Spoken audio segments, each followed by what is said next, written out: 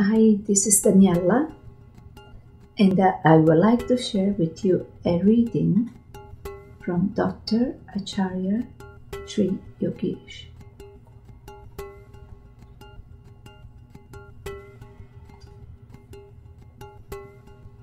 It's about love. Love is the most beautiful phenomenon. Even the word itself is extraordinary. L has the most wonderful meaning. It stands for living being. O stands for ocean. V stands for vastness. E stands for eternity and ecstasy. Why don't people understand this beautiful word? On the surface, everyone says, I love you, I love you so much, but this love is very different. A mother loves her baby, but she loves only her baby.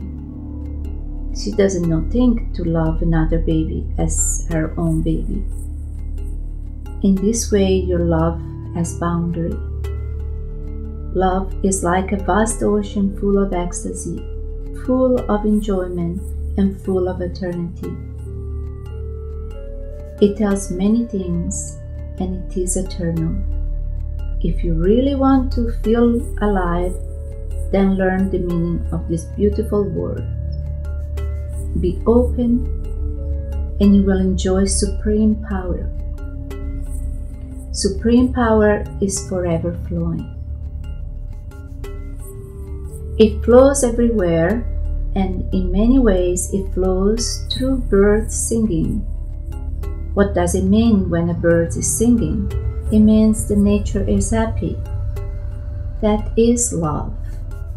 Love flows in the flowers. When they are blooming, it means that they are happy, that they are in joy, and that they are in ecstasy. Nat- nature does not make boundaries like you do. It is because of boundary that we lose the real meaning of love, and therefore the real meaning of life.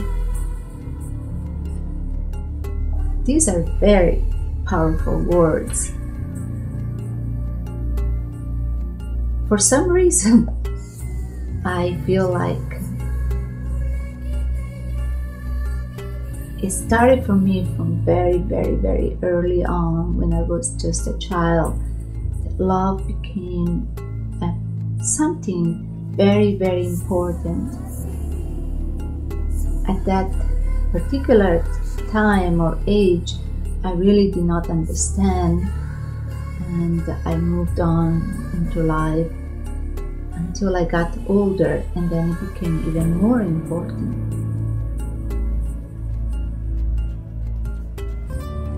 Although I still did not understand the real meaning of love, I guess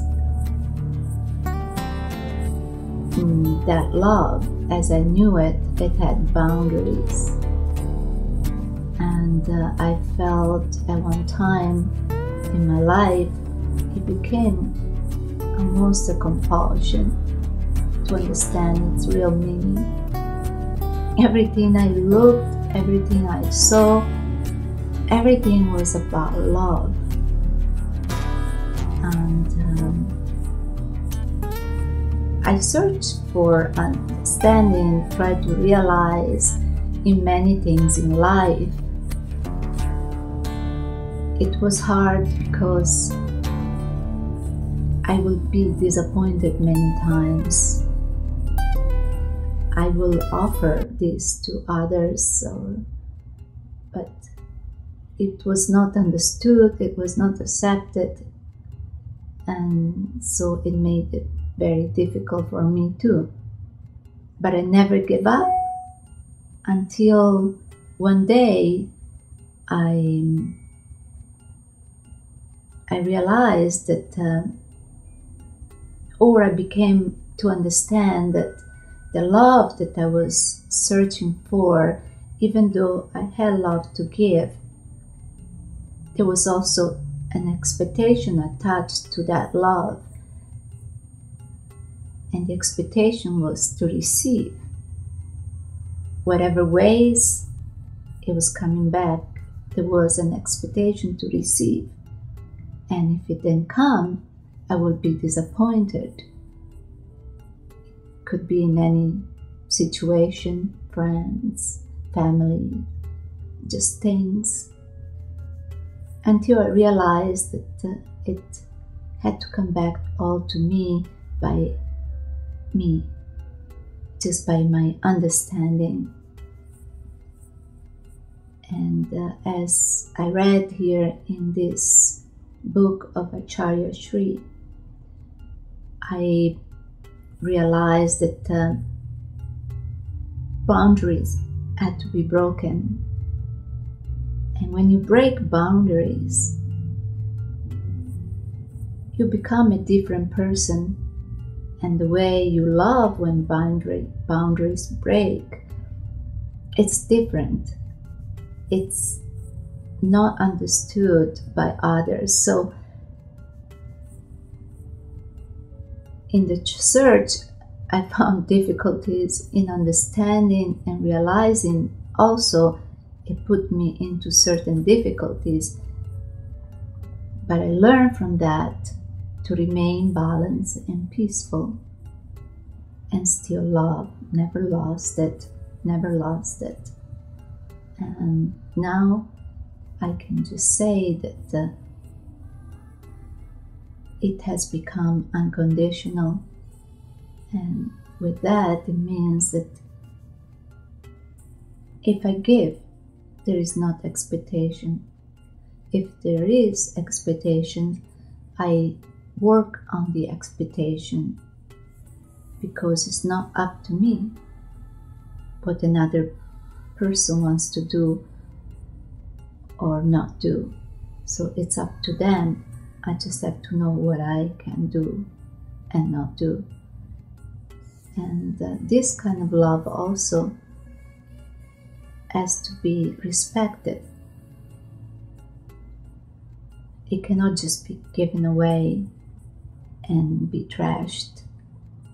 It has to be respected. So you have to gain the understanding where and where not but it flows all the time. That you give it or not, it's there all the time.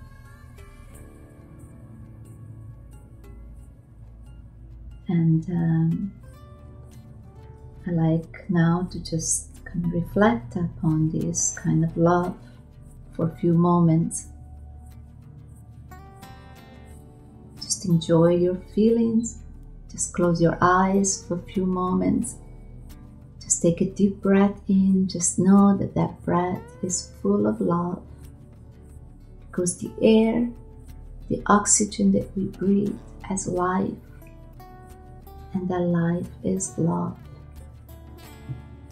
Om Shanti.